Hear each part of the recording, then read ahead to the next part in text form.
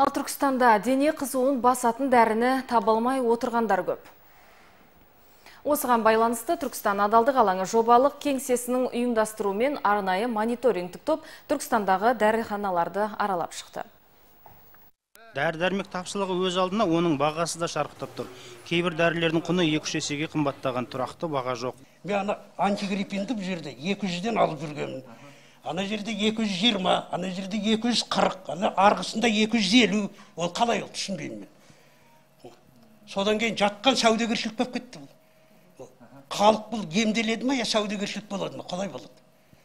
Мониторинг барысында бірқатар кемшіліктер анықталды. Кәсіпкерлердің бірінде кассалық құрылғы да болмады. Кейбірі бағаны негізсіз өсірген. Егер де дәріханадағы дәрі дәрмектердің бағаларын шарықтауына себепкер болсаңыздар ол жағдайда 109 және 102 14 24 шұғыл байланыс нөмірлеріне хабарлассаңыз болады. Біз өз тарапымыздан жаңағы жедел мониторинг топ тарапынан біз өз әрекетімізді жасайтын боламыз.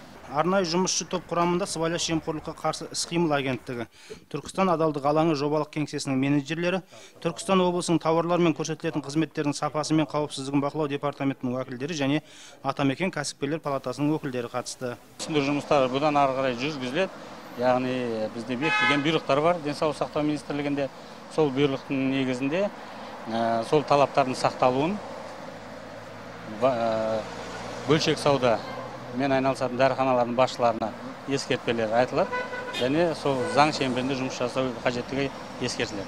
Бұдан былай құзырлы мекеме өкілдерінен құрылған мониторинг тобы бағаның шектен тыс шарықтап кетпеуін тексеріп тұрады. Бұл жұмыс облыстың барлық аудан қалаларында жалғасады. Бұл топ осылайша бағаны тұрақтандыруды қолға аламыз деп белсеніп отыр. Нұрмахан кенжехан нұридин исқақов дидар әубәкірұлы жаңалықтар түркістаннан.